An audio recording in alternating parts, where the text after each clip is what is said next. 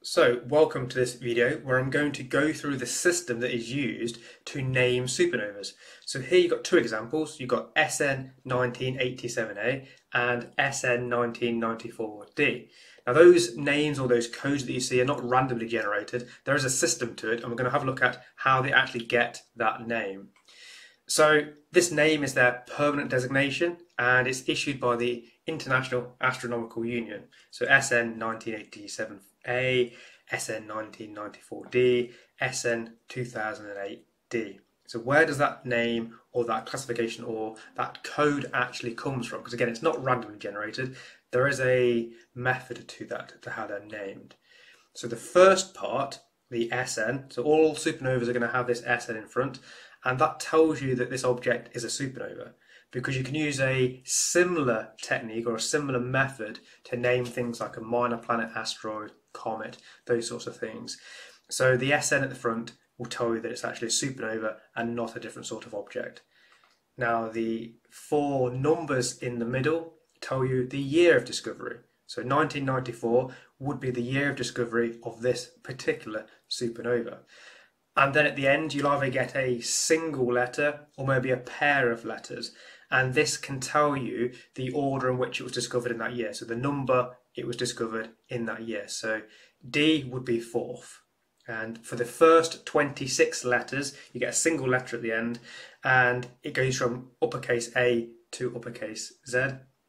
And you get 26 for a single letter. Now, this one here, SN 1994, means that it was the fourth supernova discovered in that particular year. So, quite easy, straightforward to figure out that particular one. But you may see some supernovas that have two lowercase pairs at the end instead of an uppercase single letter at the end. And when you have more than 26 discoveries, you need to add an extra letter on so you can then increase the number of supernovas you can have the, num- the different number of combinations you get. You can increase it basically by adding another letter. So, the first letter is the number of times that you've gone through the full alphabet and then to the next one. So N is the 14th letter of the alphabet, which means it's gone through 14 times.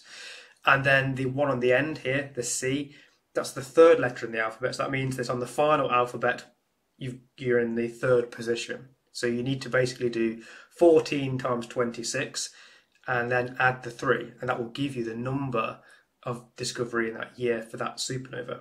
So probably easier to show you an example. So because n was the 14th letter, you times that by 26, which is how many letters are in the alphabet, and then you add the three because it's uh, the position in the alphabet at the end. So that gives you 367, which means SN 2005 NC is the 367th supernova discovered in 2005. And if you actually discover too many, so you can actually discover so many supernovas in one year that you can't cover them with that particular combination of two letters. And in that case, you would actually add a third letter and you then increase it again to get um, get more combinations that you can do to give you the total discoveries in that particular year. And as our equipment gets better and we're observing the sky in more detail, this is going to happen more and more often when we discover more. So thank you for watching, and if you enjoy, then check out some of the other videos.